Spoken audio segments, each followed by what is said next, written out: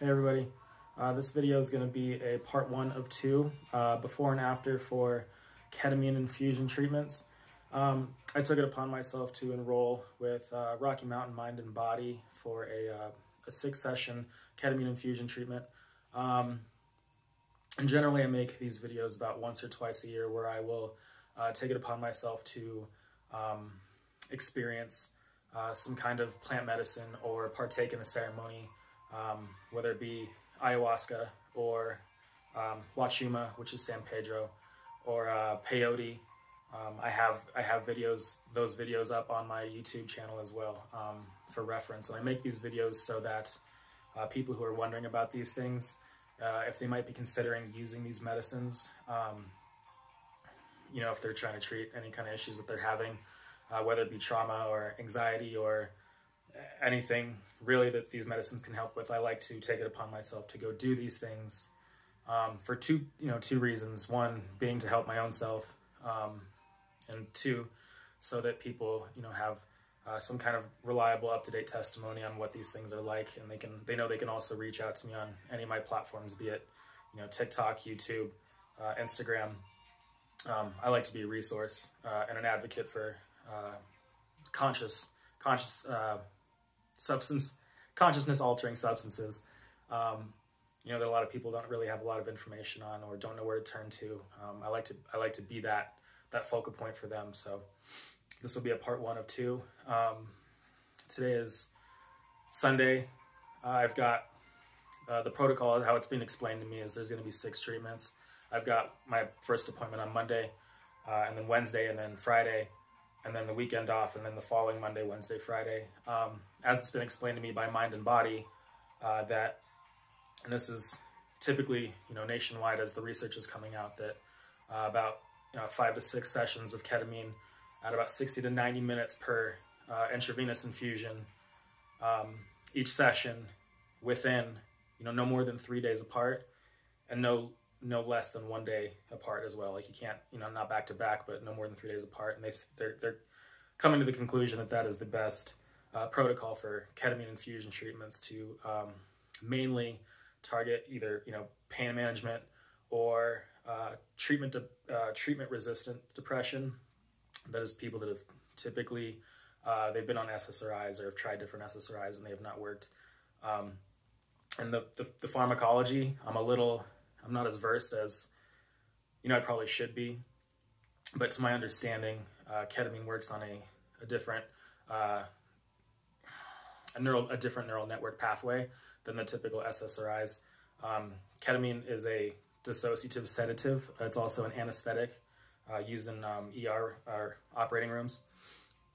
Um, but you know, at a at varying doses, ketamine can can can do a lot of things. Uh, it's, it's, called a dirty molecule, and it has a lot of purposes depending on what you know how you're applying it. And um, in the cases of uh, ketamine infusion treatments, um, ketamine acts as a you know that dissociative. So just like plant medicines, like mushrooms or LSD, uh, all these different plants, what they do is they put you in a different a state of consciousness. They're conscious altering substances. So when you are able to uh, remove yourself from your, your, your normal state of thinking, you are then able to, you know, remove yourself from like a, a traumatic situation or a memory or um, depressive patterns that have caused you or they've afflicted you to exist a certain way. And when you can dissociate from those patterns, you know, you can, you can start to work on, you know, the roots of that trauma. So in addition to my own personal, you know, I've, everyone's got their own shit to work on. You know, I work, I work on mine uh, diligently, I would say. Um, in addition to working on my own stuff, I also, you know, there's a second part to why I do these medicines, and that is, um, there, there's a term called psycho psycho spiritual exploration, which is you know just exploring different states of consciousness because of what those states of consciousness can offer you in, in, in terms of perspectives. You know, if you, if you, if you can change your perspectives on things, um, you're able to look at life a little bit differently. So I want to make a before and after for my six session uh, ketamine intrafusion treatments um, with mind and body. Um, I've, I've watched a handful of other YouTube videos, you know, people's testimonies or uh, people describing like their befores and afters. And from what I've seen, uh, I would say almost all of it is positive. You know, people go in and they have something that, you know, that brought them there, obviously, that was really um, ailing them. And they were able to remedy that with, with these treatments. Um, ketamine, depending on your clinic, it's not, it's not legal in every state. Um, you have to, you know, look that up. To, depending on where you're at, there may or may not be a clinic nearby. Um, and different clinics administer ketamine in different ways. It can be intramuscular. Um, it can be, uh, you know, there, there's lozenges that you can take. Uh, so orally, uh, there's a nasal spray, which is not actually ketamine. I believe it's called S-ketamine. Um, but it's a it's it's almost like a prodrug that that I believe it becomes ketamine once it's metabolized. I'm not I'm not 100 percent on that. Don't don't quote me. But um, uh, there's also the intravenous route. Um, and mine mine is going to be that intravenous. So uh, directly into the bloodstream for a 60 to 90 minute infusion. Um, little details about the clinic and the and the undergoing is I'm not allowed to drive myself to the clinic or after the clinic. So, um, you know, there's there's a recovery time and and whatnot. So I have uh, dependable friends who have agreed to to uh, transport me to and from the clinic on on my six appointment days. So there's those logistics to consider. Um, pricing, it's I wouldn't say it's the most affordable thing in the world, but none of these ceremonies, the, the plant ceremonies outside of the U.S. never they're never affordable either, uh, and that's that's one of the big stalls on. You know what sucks about these medicines is that they can do miraculous things, but they're not always, they're not always readily accessible to everybody.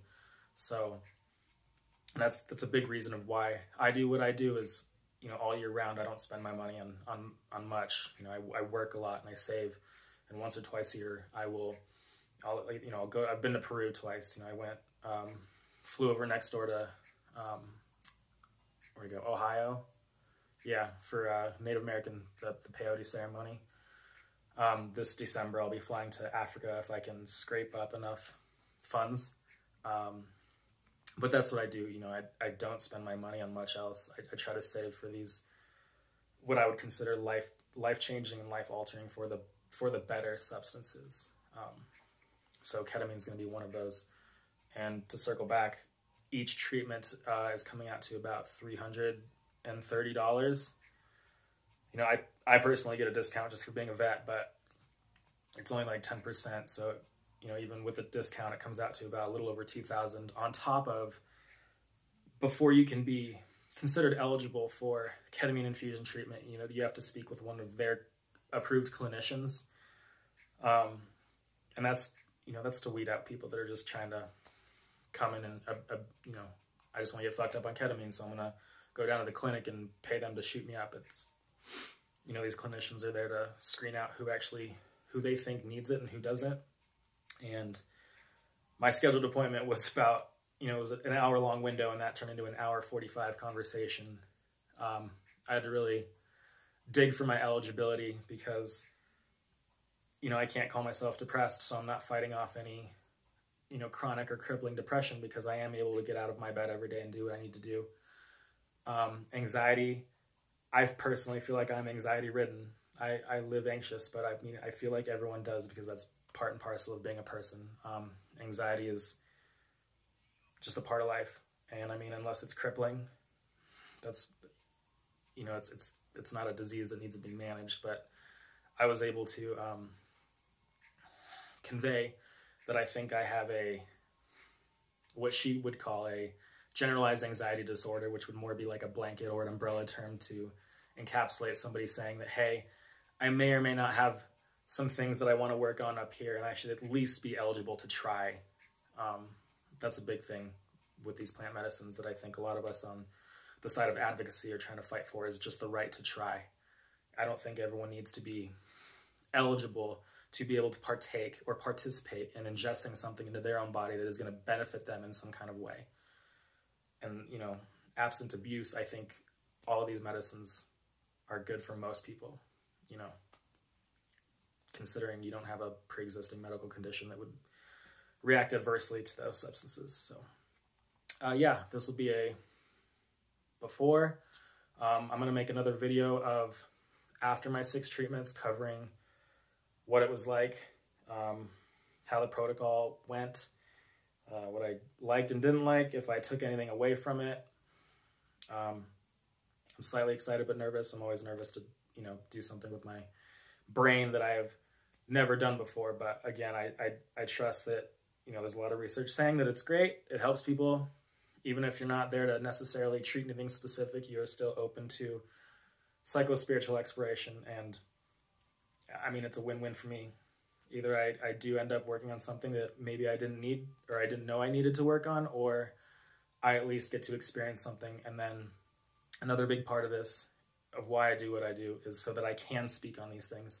So that one day if someone does come to me and say, hey, I'm thinking about doing ayahuasca, or I heard somebody talking about a peyote ceremony. Do you think I could be a part of that? I can say, well, I've done that, and here's what I thought, and here's where I went, and here's who my shamans were, or my practitioners, or my clinic, and I can yay or nay, you know, the the merit of those people. I can say avoid these clinics or these top three retreats.